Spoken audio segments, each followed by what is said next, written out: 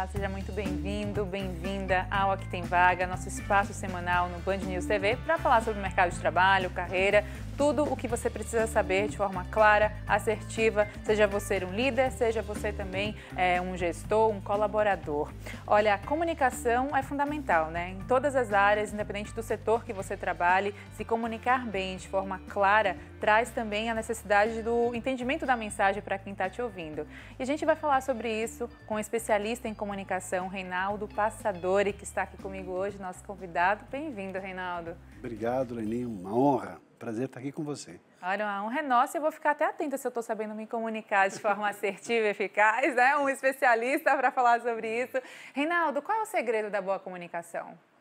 Eu penso que, acima de tudo, é ter muita sensibilidade e entender que as pessoas se comunicam a partir justamente de, de, eu diria assim, que é um processo da empatia, que é eu levar em consideração o outro.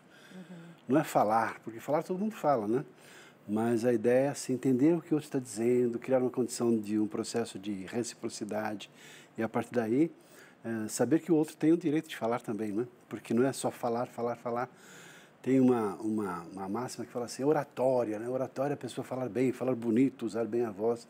Não, a comunicação ela se processa quando as pessoas têm a oportunidade de se entender. Para isso, é esperado que a pessoa tenha paciência, tolerância, para que ela possa entender e respeitar a outra pessoa no espaço da outra pessoa. Uhum. E a gente fala de espaço, temos o ecossistema trabalhista, né? Ah. A gente tem uma organização que é feita, claro, da hierarquia, que acredito eu que não seja mais tão vertical, a gente já uhum. tem um horizontal aí, porque uhum. o colaborador tem cada vez mais protagonismo. Como é que fica olhar dentro de uma organização a necessidade e o, como é fundamental a comunicação? Bom, hoje, ainda mais agora, com o advento da internet, onde a informação virou commodity, todo mundo sabe de tudo, é só acessar lá as informações e as pessoas têm acesso e possibilidade de entender tudo aquilo que está lá. Uhum. Agora, é justamente nesse sentido, né? porque a verticalização, essa condição de, ou seja, a horizontalização das lideranças, cria também uma condição na qual as pessoas possam ser mais valorizadas, o processo da humanização, na qual também a liderança, de maneira geral, respeita ou passa a respeitar um pouco mais as pessoas, e assim há um equilíbrio nesse sentido, ou pelo menos começa a ter, a haver um equilíbrio nesse sentido. Então, aquela, aquela máxima antiga lá do, de quem fez a administração um tempo atrás, como foi meu caso, né? Taylor e Fayol, manda quem pode, obedece quem tem juízo, cai por terra. Porque também as pessoas passam a perceber seus reais valores, passam a reivindicar mais, passam a perceber que a fala dela tem importância e se podem denunciar, ou seja, tem muitas formas diferentes das pessoas se valorizarem, né? Então, esse processo de valorização que flui de cima para baixo, mas também de baixo para cima e nos, nos, diversos níveis também. Então, em termos de estrutura de organização, eh, há, se criar, há de se criar um clima organizacional, há de se valorizar mais e mais o papel da liderança, nesse sentido de que as pessoas têm os seus direitos e merecem ser respeitadas nos seus próprios direitos. Uhum.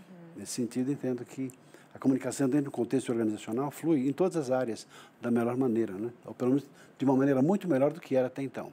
Sim. Cultura organizacional, gestão corporativa. Como é que o líder pode ficar especialista em uma comunicação assertiva para com seus colaboradores? Uhum. Porque uma boa liderança dita muito sobre a imagem da própria empresa, não é? Claro, claro, claro. É, em todos os níveis, né? Porque o, o líder, tanto nós fazemos o trabalho de media training, ou seja, de preparar não só a liderança para se comunicar bem internamente com seus pares, mas também lá fora, porque o papel dele é importante nesse contexto. O que acontece eh, em termos de, de, de, jornais, revistas, repórteres, entrevistas, ainda mais com o advento da internet também, em mídias digitais, a pessoa está o tempo todo sujeita a se expor. E ela carrega um papel importante, um sobrenome também importante, que é o do líder ou do sobrenome que tem a sua empresa, é o diretor da empresa tal, é o gerente da empresa, é o CEO da empresa tal. E toda vez que ele fala que vai se expor diante da mídia de maneira geral, ele tem que tomar muito cuidado, porque ele carrega ali a quantidade de pessoas que ele representa naquele momento, naquele contexto. Não é? E quando se fala em assertividade, eu gosto muito dessa palavra assertividade, porque ela carrega assim uma profundidade muito grande. O que é assertividade? Se fala muito em assertividade, nem sempre as pessoas tem uma noção. Quando, o que é assertividade? É falar acertando. Não, não tem a ver com acertar. Assertividade tem a ver com afirmação. Do latim, da tradução, da origem da palavra, da etimologia da palavra acerto, tem a ver com afirmar. Então, assertividade significa afirmar. é a pessoa dizer aquilo que tem que ser dito, quer seja um assunto delicado, no processo demissionário ou até num momento delicado, mas ela falar o que tem que ser dito com firmeza, segurança, e a outra pessoa se sente valorizada porque ela foi tratada com respeito justamente nesse contexto. Então, assertividade não é falar de forma agressiva. Existem quatro comportamentos básicos nesse sentido. Um é o comportamento passivo, aquele tipo de pessoa que todos nós temos essas características, né? Mas tem o típico passivo, que é aquela pessoa que submete, que submete, aquela pessoa que é, sabe, tímida, medrosa, fechadinha, a sua própria postura de encolhimento. Tem o agressivo, que é aquela pessoa que fala dedo e riste, firmeza, força, determinação.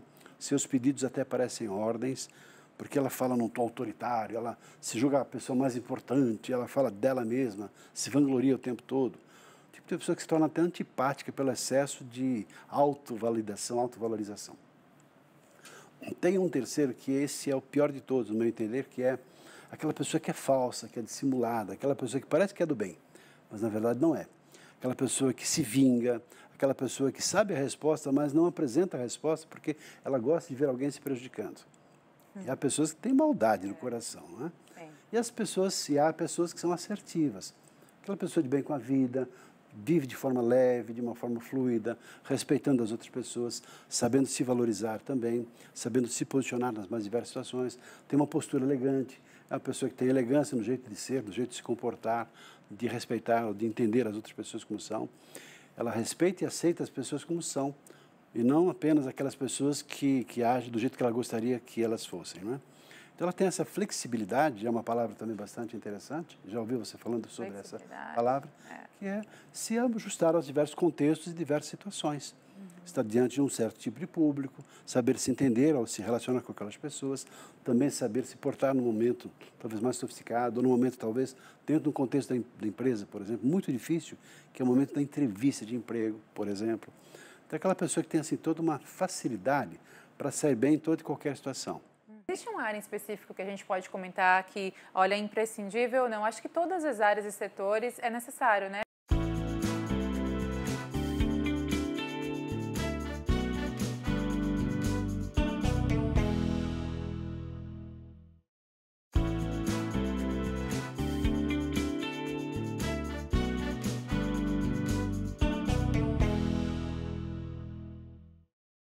Você fala de entrevistas de emprego e me chama a atenção justamente os toques ou dicas que podem ser dados para quem está nessa situação ou para quem está buscando emprego. Né? A gente tem índice de empregabilidade que precisa crescer cada vez mais, porque o desemprego está assolando o Brasil, mais de 11 milhões atualmente. Entrevista de emprego, comunicação, como é? Está intrinsecamente ligado, né? porque há muitas pessoas que têm um potencial, uma capacidade, têm um talento, têm uma experiência, mas na hora de mostrar esse potencial não consegue. É complicado isso, porque a comunicação ela justamente mostra aquilo que a pessoa pensa e sente. Ela mostra a capacidade de pensar, de raciocinar, de sua criatividade. Então, justamente no processo da, da comunicação é que a pessoa, de fato, mostra aquilo que ela aqui veio. E quantas pessoas há que numa entrevista elas ficam intimidadas? A timidez ela, ela faz parte do ser humano. Uhum. Então vamos pegar assim do outro lado, por exemplo, medo de falar em público. Todo mundo tem em maior ou menor grau. É claro que com o tempo e a prática, com a desenvoltura, a pessoa vai minimizando, minimizando isso, vai tendo mais tranquilidade e naturalidade. Mas é comum as pessoas terem muitas dificuldades, de maneira geral, em relação à comunicação. Por exemplo, é, medo de falar em público é tido como um dos principais medos dos executivos, de maneira geral, em muitos lugares do mundo. Pesquisas feitas nos Estados Unidos, na Austrália e no Brasil apontaram assim que os principais medos são a morte e o medo de falar em público. Olha. Algumas pessoas até em entrevistas falaram assim que o maior do que o medo da morte até é o, é o medo de falar em público. Nossa. Curioso isso. Então tá bom, pula da janela então. não, aí também não, não é bem assim. Mas o fato é que ah, há pessoas que ficam intimidadas diante de uma pessoa que tem um nível hierárquico superior, um entrevistador, um gerente, um diretor.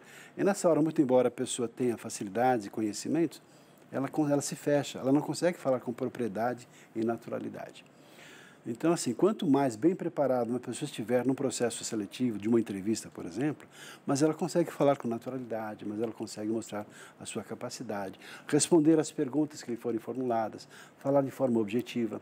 Tudo isso faz parte de um contexto, porque naquele momento ela está sendo avaliada, quer queira ou não, está sendo mensurada, está sendo percebida Como é que é a pessoa, se ela tem facilidades ou não, se ela tem desenvoltura ou não, como é que, como é que ela está sendo percebida por quem está avaliando.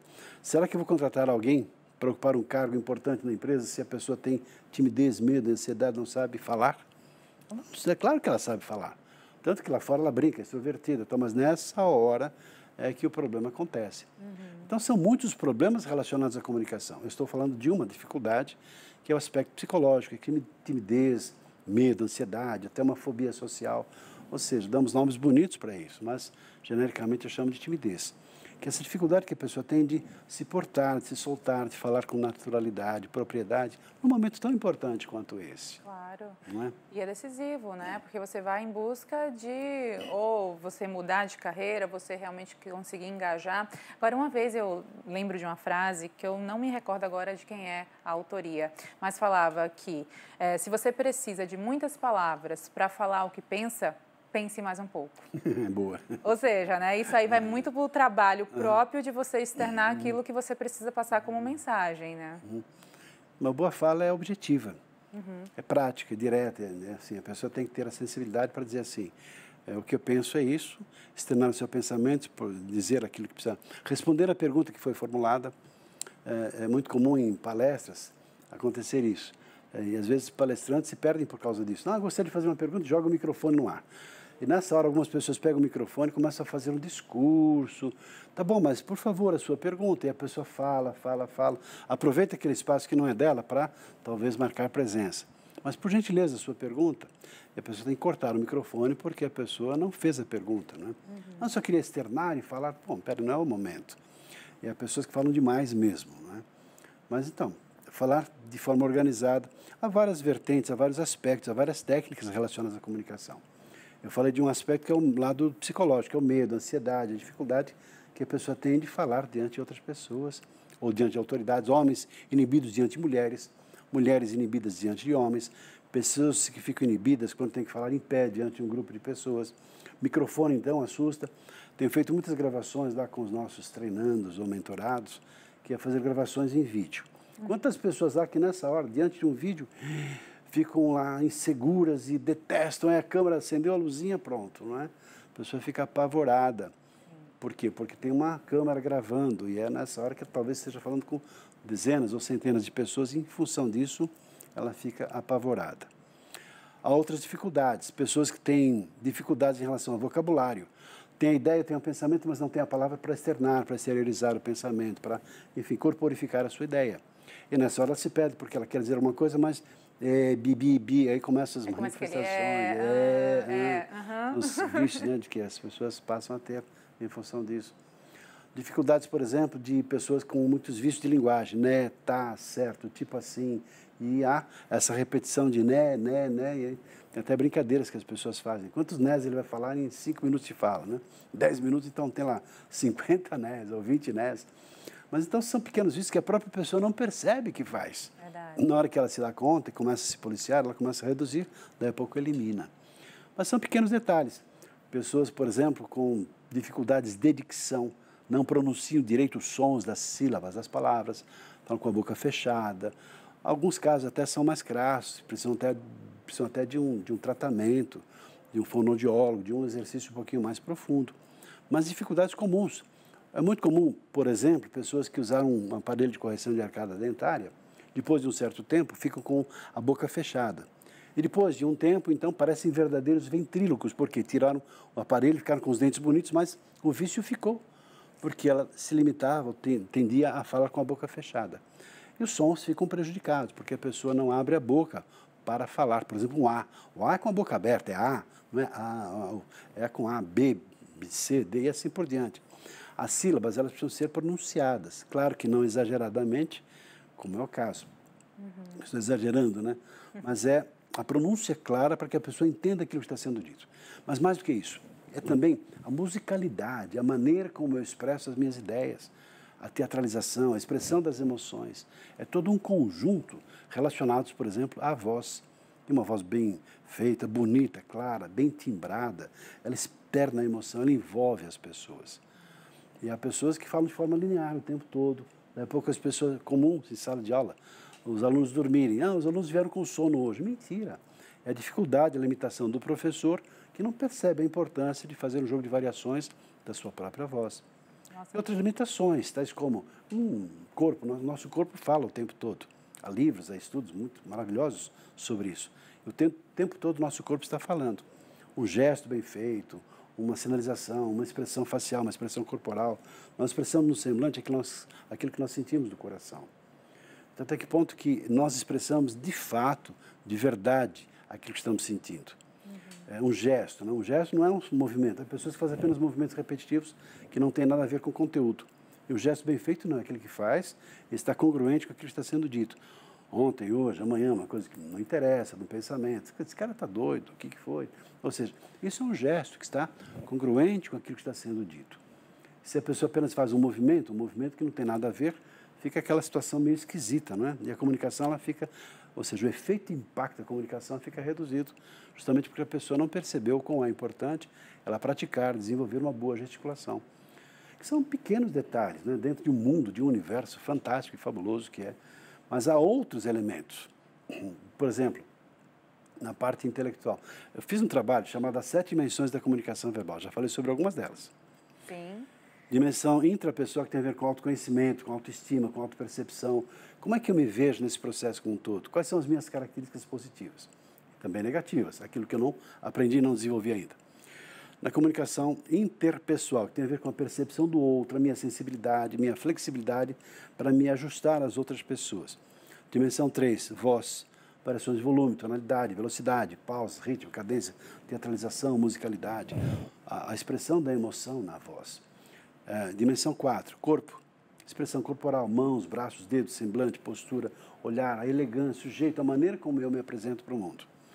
Dimensão 5, parte técnica, ainda mais considerando toda essa, essa estrutura, essa parafernália eletrônica que estamos aí a nossa aí, né, usando, internet, mídias digitais e aí, enfim, todo um trabalho de de lives e todo um trabalho que estamos hoje utilizando com recursos técnicos. Dimensão sexta tem a ver com a parte intelectual. Tem a ver com vocabulário, tem a ver com gramática, tem a ver com gramática, o português correto, tem a ver com a eliminação dos vícios de linguagem, tem a ver com a fluidez, é aquela linha sutil e tênue de raciocínio, que é um fio condutor pela qual eu conduzo a linha de pensamento da outra pessoa, que vai entendendo, compreendendo, ouvindo as minhas histórias, entendendo naquilo que eu estou dizendo. Uhum. E a última dimensão é a dimensão que tem a ver com valores, com ética, com responsabilidade social, que nós chamamos de comunicação na dimensão espiritual. Olha. É um conjunto né, é um de elementos. Conjunto, não tem como fugir disso, né, Reinaldo? Agora, algo que me chama a atenção também é que a comunicação bem feita, ela prende atenção como uhum. você estava aprendendo a minha e com certeza uhum. aprendendo a quem nos assiste. Porque realmente você é, induz a pessoa a entrar no universo ali é. da fala, da comunicação, né? Inclusive é isso que a gente pode encontrar nesse livro aqui, Quem Não ah, Comunica tá. Não Lidera. Tive o prazer de escrever esse livro, foi assim, muito recomendado por, por escolas, universidades, porque assim, líderes, ou quem deseja ser líder, ou quem quer reforçar ainda mais a sua capacidade de liderança. Então foi um trabalho que demorei dois anos para fazer, com muito estudo, muita pesquisa e tal. E assim, juntamos aqui as duas forças. Uma, a comunicação e outra, a liderança. Então, duas forças que se complementam. É possível que haja líderes que não se... Né, líderes, quer dizer, é impossível que haja pessoas que se comuniquem bem, mas não queiram, não são líderes. Mas é praticamente impossível haver líderes que não saibam, não desenvolvam uma boa habilidade de comunicação. Então, está intrinsecamente ligado ao papel do líder, a sua capacidade de motivar pessoas, de orientar, de criar um clima organizacional legal, de, enfim, envolver as pessoas dentro de um objetivo comum, que é o que a empresa espera ou que a pessoa própria espera em relação aos seus liderados. Uhum. Essa relação em todos os níveis, porque um líder, ele assim, sobe, desce, vai para um lado, para o outro, você é uma pessoa que se envolve com tantas pessoas, não é? Líderes de grupo, líderes das organizações, líderes políticos, ou seja, pessoas que assumem papéis de liderança são aquelas pessoas que, de uma maneira ou de outra, precisam ou buscam boa comunicação. Até pode ser até o contrário, que a boa comunicação faz com que a pessoa perceba que ela pode liderar. E descobre aí um, uma possibilidade incrível. Mas, sem dúvida, é um, é um trabalho que eu gosto muito. E Ai, tem também um, um, segredinho aí, é. porque ele fala assim, ele faz uma proposta que é autobiografia de um novo líder que é a pessoa escrever o seu próprio livro. Então, eu indico assim uma série de sugestões com muitas perguntas, e ao responder a essas perguntas, a pessoa pode começar a escrever a sua autobiografia Então tem um, um, trabalho aí que eu achei que as pessoas gostam muito de, de conhecer esse trabalho. É uma interação com o próprio leitor, né? Sem muito dúvida. boa ideia. Agora, é, existe uma área em específico que a gente pode comentar que, olha, é imprescindível? Não, acho que todas as áreas e setores é necessário, né? A gente vê o comercial, a própria comunicação em si, mas, em geral, as pessoas, seja pessoal ou profissionalmente, precisam saber se comunicar, não é, Reinaldo? É, eu até, até um site, eu comecei a fazer um programa, comecei assim, até num, num, lá no YouTube, né, no canal, eu comecei com comunicação é tudo. Depois teve lá um problema, apareceu alguém que também já quis. Falei, quer saber, fica com comunicação é tudo. E aí eu escolhi falar é fácil. Então, falar é fácil é o nome do meu canal. Mas assim, voltando à ideia, comunicação é tudo. Nós existimos pelo meio por causa da comunicação. Tanto começou lá com São João, né? E a palavra divina se, se fez, né? O verbo se, se, habitou entre nós. Começa até com uma estrutura assim, tipo assim, que nós existimos em função de quem nós comunicamos aquilo que somos. E aprendemos a nos relacionar a partir daquilo que nós ouvimos, daquilo que nós falamos, daquilo que nós enxergamos, da nossa relação com as outras pessoas. Então, é praticamente impossível no processo de socialização haver o processo de crescimento e desenvolvimento se não houver a comunicação. E quanto mais as pessoas interagem, se relacionam e têm entendimento, mais elas evoluem.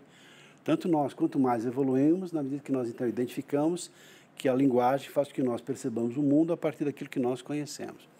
Então não há como haver desenvolvimento sem a comunicação. Ela está diretamente ligada à nossa vida como um todo. Desde o momento que quando éramos pequenininhos, fomos crescendo, desenvolvendo, é a comunicação, nós nos relacionamos com o nosso choro, com os nossos comportamentos, e assim nós fomos evoluindo e sofisticando esse processo. Uhum. Então, hoje, assim, nós percebemos pela observação como é que uma pessoa está, como é que ela está sentindo. E existe um lado sutil da comunicação, que é a percepção sutil mesmo de observação em termos de comportamento do corpo, da observação daquilo que está além daquilo que está sendo dito. Por exemplo, uma pessoa diz assim: Poxa, hoje eu acordei muito feliz, estou bem. Será que está bem mesmo? Porque a comunicação não é o que nós falamos, é como nós falamos. Espera aí, você está dizendo uma coisa, mas está mostrando outra. Então tem umas sutilezas nesse processo.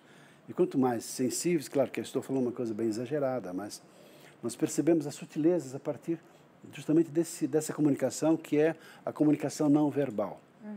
A própria postura mostra muito da nossa conduta. Se eu tenho uma postura, por exemplo, aberta, livre para a vida, é claro que eu irradio uma energia positiva, de não de superioridade no sentido arrogante, prepotente, mas no sentido de estar de bem com a vida, com alegria, com uma disposição para as coisas. O contrário também é verdade. Uma pessoa, é, eu, eu trabalho na Paulista, nosso escritório fica na Paulista. E aí, curioso, assim, na hora do almoço, de vez em quando damos assim, eu fico observando e até comentando, nossa, olha aquela pessoa, né? parece estar carregando o mundo nas costas. E de fato está mesmo. Se você for observar, a pessoa está com um problema, talvez muito sério. Ou pessoas que caminham pela vida como se, sabe, parece que estão se arrastando.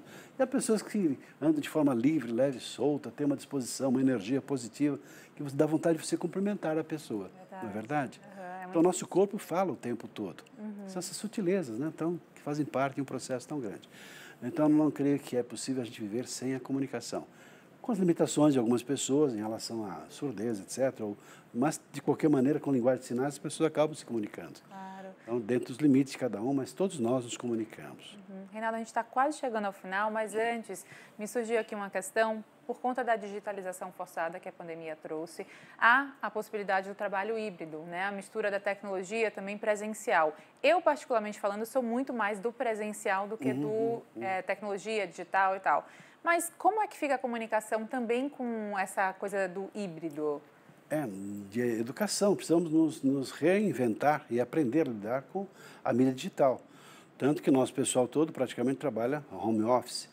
Mas é assim, a gente aprender a lidar com a tecnologia. No primeiro momento, uma certa limitação, e a pessoa vai se habituando, vai se acostumando, no final, ela acaba também se adaptando.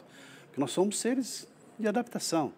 Saímos da, das cavernas, depois começamos a morar na cidade, daí a pouco a gente se habituou a tudo aquilo que é bom e aquilo também nem sempre é tão bom. Como você, eu também prefiro contato presencial, porque você sente a pessoa, percebe a pessoa, sente a presença física da pessoa. A energia, a energia. Um abraço, um abraço, esse tipo de coisa, não é. um aperto de mão, um abraço. A gente, infelizmente, né, viveu um pouco longe disso. Mas a gente dá, acaba retomando de alguma maneira. Uhum. Mas concordando com você, a gente acaba vivendo um sistema híbrido Porque não dá para a gente ficar só na internet, não dá, não dá para ficar só. Se bem que tem uma criançada que está chegando aí, se deixar, ficam jogando videogames o, o, dia inteiro e às vezes noite, fim de semana, estão talvez numa outra energia. A gente tem que tomar cuidado, principalmente os pais, em relação a tudo que é excessivo passa a ser negativo claro. no entendimento. Uhum. Mas acho que assim, um bom equilíbrio faz parte da nossa vida atual, né? já que estamos aí com a internet e toda a tecnologia à nossa disposição, é importante a gente ter inteligência para saber dosar e usar isso de forma adequada Boa. no entendimento. Para finalizar com chave de ouro, você falou de palavras que me chamaram a atenção, assertividade, flexibilidade e uma última palavra, qual seria dentro do seu vocabulário? Eu diria, mais do que nunca, estamos entrando numa esfera, numa, numa linha de humanização mais do que nunca, essa humanização se faz necessária. Todas as lideranças estão assim dentro dessa vibe de humanização. O que significa humanização? É, eu me tornar mais humano? Talvez sim.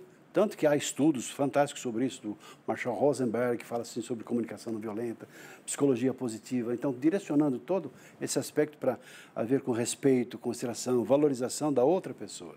E nessa humanização é que eu penso que a gente vai encontrar um, talvez um, um equilíbrio para a gente possa crescer como pessoas e como profissionais. Reinaldo Passadori, muito obrigada por suas contribuições. Uhum. Sempre muito bom falar com você, engrandecedor também ouvir suas palavras e todo o seu conhecimento. Obrigado. Espero encontrá-lo mais vezes e Obrigado. bom trabalho sempre. Pode contar comigo, um prazer estar aqui com você e parabéns pelo seu programa. Muito obrigada, Reinaldo. Obrigado.